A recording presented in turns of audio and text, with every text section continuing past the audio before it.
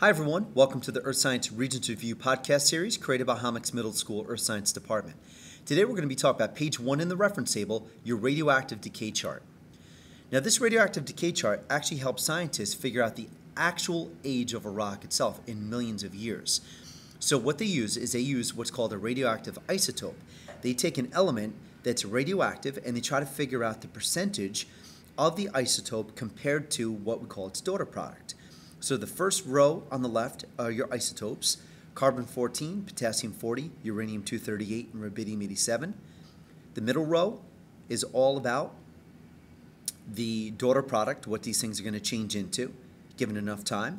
And then finally, the half life how many years it takes for half of your isotope to change into its decay product. So the first one that we're going to focus on is going to be your carbon 14. Remember, this is going to be a very important isotope because it's found in, in organic material. Carbon 14, C14, changes, changes into nitrogen 14, or the symbol for that is N14. And it takes 5,700 years for carbon 14 to change into nitrogen 14. The next isotope down is potassium 40. Now, potassium 40 actually has two decay products.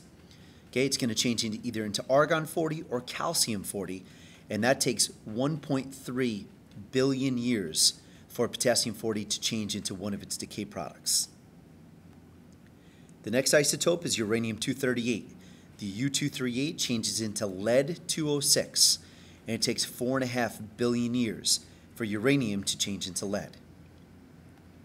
And then finally, your rubidium 87 the RB87 is going to change into strontium 87, and that takes 49 billion years for rubidium 87 to change into strontium 87. So it's a very simplistic chart. Just realize that your half lives are in years, even though it's in, in exponential notation there. You have to be able to expand out the values of your half lives. And with that being said, thanks so much. We'll talk to you soon.